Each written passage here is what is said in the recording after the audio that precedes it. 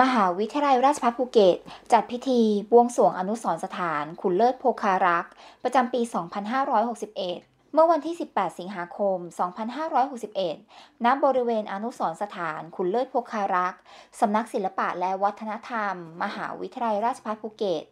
จัดประกอบพิธีทำบุญเสริมสิริมงคล และบวงสรวงอนุสรณ์สถานขุนเลิศโพคารักษ์ประจำปี 2561 โดยมีผู้ช่วยศาสตราจารย์ ดรฮิรันประสานการ รักษาราชการแทนอธิการบดี เป็นประธานในพิธี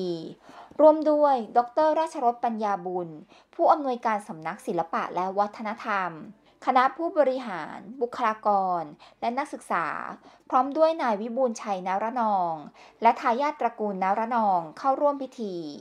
ภายในงานมีการประกอบพิธีไหว้บรรพบุรุษ การวางพวงมาลัยดอกไม้สด พร้อมเผากระดาษเงินกระดาษทอง อุทิศส่วนกุศลให้กับผู้ที่ล่วงลับ ตามประเพณี ชาวไทย เชื้อสายจีน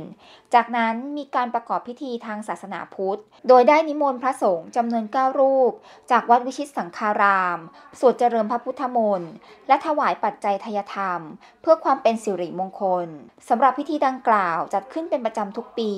เพื่อให้ชาวราชภัฏภูเก็ตและทายาทขุนเลิศโพคารักษ์ได้ระลึกถึงคุณงามความดีของท่าน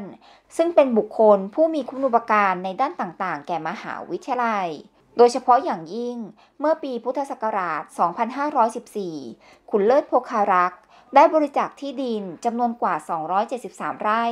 ให้แก่วิทยาลัยครูภูเก็ต หรือมหาวิทยาลัยราชภัฏภูเก็ตในปัจจุบัน